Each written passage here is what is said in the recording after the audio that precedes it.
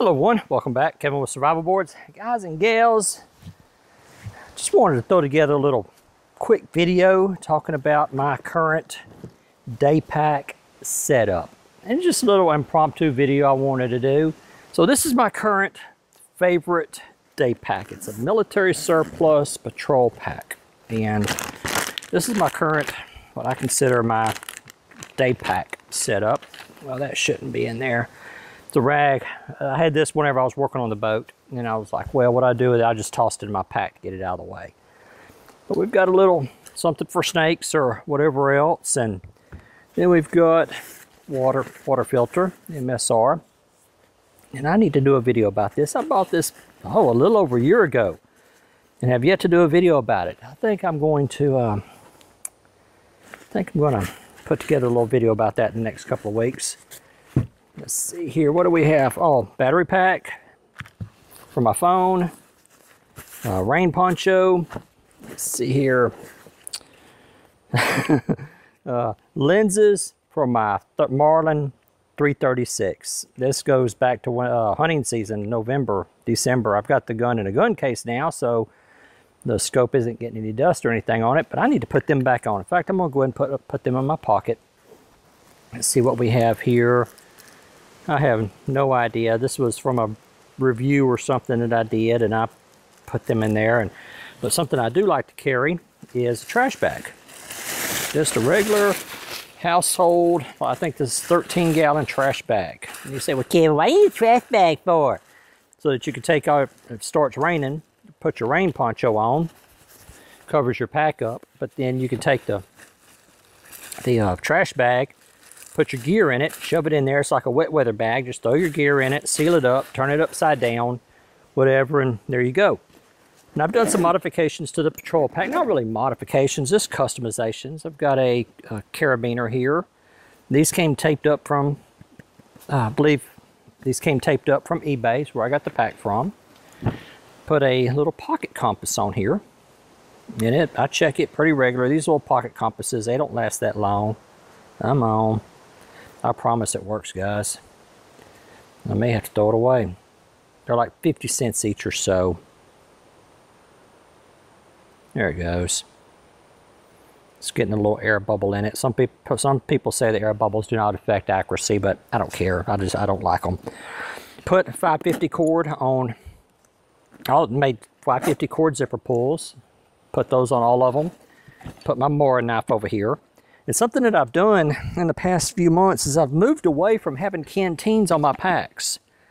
Is that I just felt they were too bulky, too heavy. So now whenever I go out in the woods or go on a hike or something, I just take a one liter water bottle, throw it in the pack. But whenever I have canteen um, canteens mounted, I usually carry a canteen cup. And so without the canteen cup, I can't boil water, I can't cook, so it's save a little bit of weight. So I usually have the canteens mounted here. I've kind of moved away from that a little bit. All right, so we've got our topographical maps for the area. got an old style, just basic. All I use this for is latitude or longitude or UTM. That's it. This is a very, very old Etrex uh, dog's playing.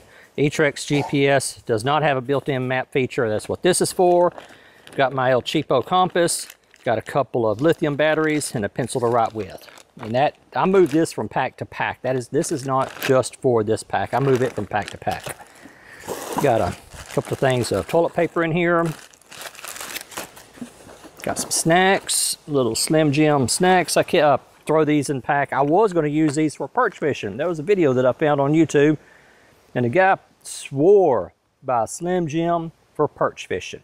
And so I was going out on the Neches River doing some fishing.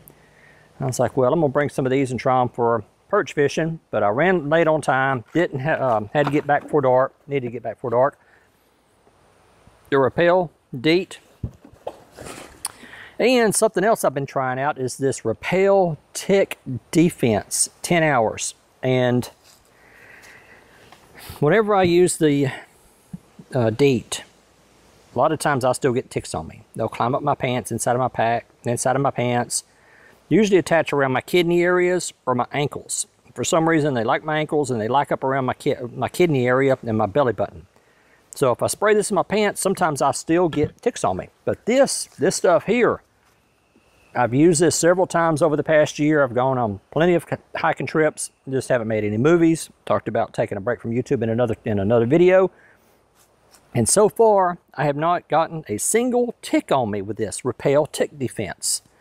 So I've started using the Repel Tick Defense like on my legs, my socks, and then the DEET on my pants, my shirt, my hat, ears, neck, stuff like that. So it's, I, have started using kind of a combination of, of the two, and so far I think it's working out well. I have not had any problems.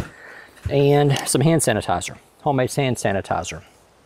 I was making this stuff up whenever COVID was uh, in the dark ages back in uh, 20, early 2020, and this is Everclear and a little bit of uh, glycerin.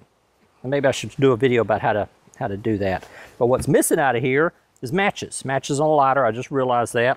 I probably took them out and put them in another pack. So, guys and gals, it's just a little quick video um, showing my current day pack setup. I need to put some matches in there just to have them. The patrol pack has become one of my favorite, favorite grab and go packs. It is just wonderful. I mean, absolutely wonderful. Um, I've been using it for a couple of years now. Bought them off eBay. Bought it off eBay. Prices in the past year have gone up. And I, uh, whenever I'm going out, say on the river or something, and I know I'm going to be using my phone for the GPS feature, the location feature, and that drains the phone pretty quick. The location drains the phone pretty quick, so I'll carry, will sometimes carry a battery pack with me. I don't deal with the solar charger. I don't care about all that. I charge it on the in the house and uh, drop it in there.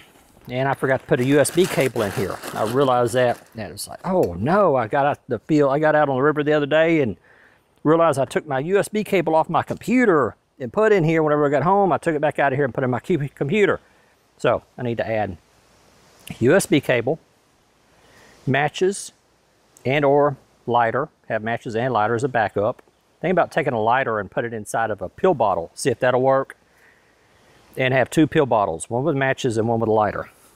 The water filter. And a little something for snakes or whatever else. Another plastic bag for water protection.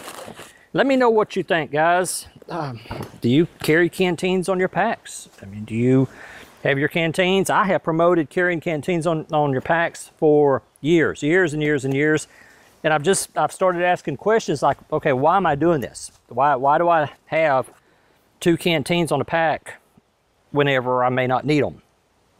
What about water bottles? I want some feedback. Do you think water bottles would be a better option than canteens? And the, water, the water filter has a, has a uh, threaded base where you thread it onto a water bottle. And so I'm kind of easing towards water bottles, but then again, it's the weight. Do you want to carry two 32 ounce water bottles on here? Uh, go with something smaller, say a one liter water bottle instead of a 32 ounce water bottle. So what do you think guys? What are y'all doing for water? Just a little bit of feedback. Anyway, just a quick little video for a Sunday and I will talk to y'all later.